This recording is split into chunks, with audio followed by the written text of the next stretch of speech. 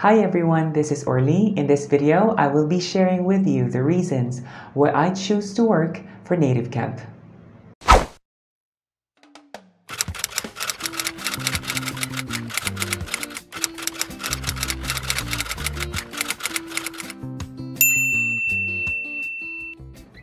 So I have been working for Native Camp for more than a year now, and I started working for them April of last year.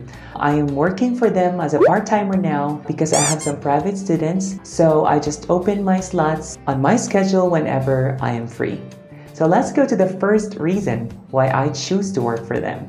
The first reason is because of their system requirements. Other companies will require you to have at least 10 Mbps and they also require high computer specifications. But for Native Camp, the minimum required speed is just 2 Mbps and they don't require you to submit any screenshots of your computer specs or your speed test result because as long as you pass a system check kung saan iti-check nila yung audio mo kung nasa noisy environment ka at iti-check din nila yung background mo kung meron kang plain uh, background then you will pass a system check.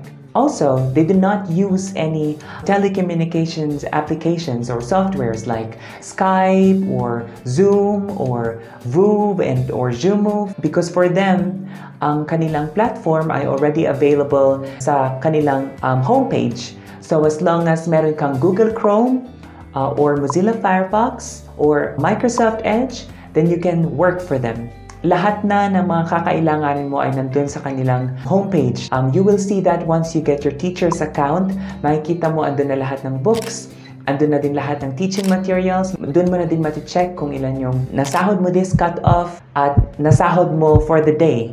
Other companies will require to have at least 10 Mbps and they will even require you to submit a screenshot of your computer specs or your speed test results. The second thing is because of their account. Kapag nagkaroon ka na ng teacher's account, the good thing about that is that I'm not sure if it's gonna be permanent, but I'm pretty sure it will last for a long time. That's why they even offer like a promo para sa mga comeback teachers. Let's say you have been inactive for a month or months or a year, you can come back anytime you want. Because I started working for Native Camp, when the pandemic started, I worked for them full time for two months. But when I had to go back to my office job, I had to be inactive for some time. Meron din yung time na hindi ako nakapag-work sa kanila for more than three months or four months because of family reasons. And that's okay because I was able to come back after some time. And that's a good thing about their account. You can easily access it anytime you want and anywhere you want. You can teach kung kailan mo gustong magturo at kung gusto mo rin magbakasyon, then you can go on vacation for a while. My third point is because of their flexible schedule. Masasabi kong flexible ang schedule nila kasi tulad ng sabi ko kanina, you can teach anytime you want, whenever you want, and for how long you want. On Native Camp, they don't require you to work for like minimum hours. Other companies, um, especially Korean companies, they will ask you to work for them from 5 a.m. to 2 p.m. and or from 2 p.m. to 11 p.m. Chinese companies will ask you to work for them for um, let's say 6 p.m. to 10 p.m. during the peak hours. And that is okay kung they give you a fixed salary or at least a guaranteed pay because we all know that if you are new at a company during your first months or let's say uh, first few weeks, you wouldn't have a lot of students kasi hindi ka pa nila kilala. So, it wouldn't be fair on your side kung naghihintay ka ng estudyante na mag-enter ng iyong class pero hindi ka bayad sa mga moments o sa mga hours or minutes na yon. Madali din ang mag-plot ng schedule sa kanila because if you're only available for let's say 30 minutes a day, then you can teach for just 30 minutes a day. If you can teach for like 12 hours a day, pwede ka ding magturo ng ganong kahabang oras. Bukod doon, madali din ang mag-plot ng schedule dahil meron na silang phone application so you can just easily turn on or close your schedule, close your slots kung hindi ka available. Meron din silang sudden classes. And that's the good thing about Native Camp. In other schools, in other online or ESL schools, meron silang booked classes. For Native Camp, they have two kinds of classes. They have the book class and the sudden class. I love teaching sudden classes because maiiwasan mo ang penalty. Usually, for other companies, kapag na mismo ang isang book class, lalo na kapag nagsisimula pa lang yung company because they want to build a trust sa kanilang clients, they're still building an image. That's why they are trying to avoid na mag-absent or mag-cancel ng class ang kanilang mga teachers. So, because of that, when you miss a booked class, ang penalty ay sobrang laki. It can go even higher than what you earn in every class. But for Native Camp, the price of the penalty is just the same as the price of the class. Kapag kinancel mo naman ito, let's say 48 hours before the class time, then there will be no penalty. Also, most students sa native camp, unless they are enrolled sa isang course na kailangan talagang booked, but majority of the lessons um, can be conducted through sudden classes.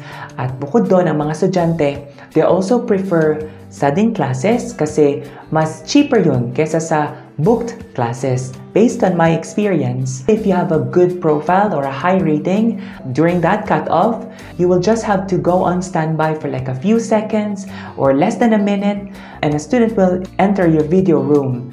So, uh, most students also prefer sudden classes. Ang kanilang teaching materials din ay sobrang dali. Once you get your account, makikita mo ang tab doon na Learning Kit for Teachers. So, if you're not able to familiarize yourself with the books, meron sila yung tab na yun, Learning Kit for Teachers.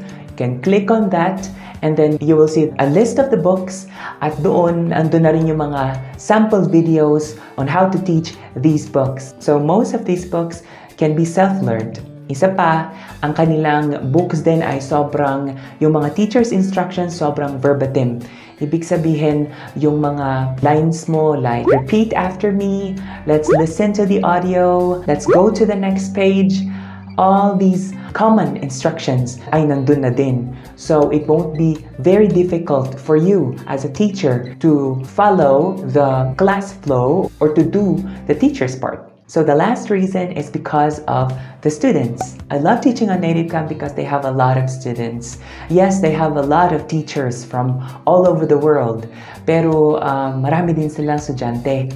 And katulad ng sabi ko kanina, most students prefer conducting sudden classes. The good thing about conducting sudden classes as well is that you will be meeting students from different walks of life. So it's possible that in your first class, you will be teaching a kid. And in your second class, you might be teaching an IT professional, a retiree, or a businessman. And that's what makes it fun pagdating sa pagtuturo mo sa native camp because in my case, um, usually kapag puro estudyante, let's say, pag pare-parehas na level ang tinuturuan mo, may mga days din na, say, mawawalan ka ng gana or you can be impatient sometimes. But on native camp, yun nga, you'll be meeting people of different ages So, because of that, hindi ka maboboard sa iyong pagtuturo. Um, in fact, you will even learn different teaching styles at magiging flexible ka as a teacher.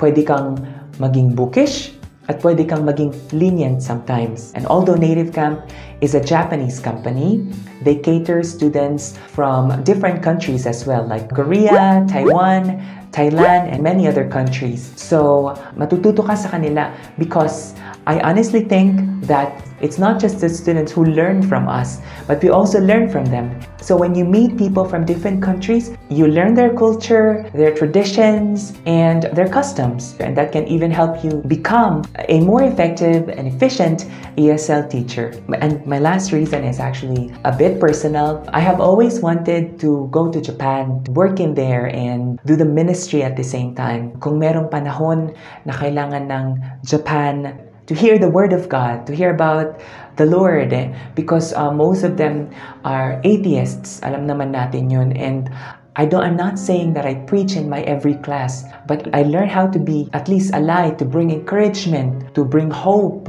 to help them cope with stress or like I give them some tips minsan during the free conversation lalo na kapag um, they ask me how I, you know, overcome stress or how I get rid of stress and I give them some tips. I make sure that I don't sound preachy sa kanila because of course hindi nila agad-agad tatanggapin yun.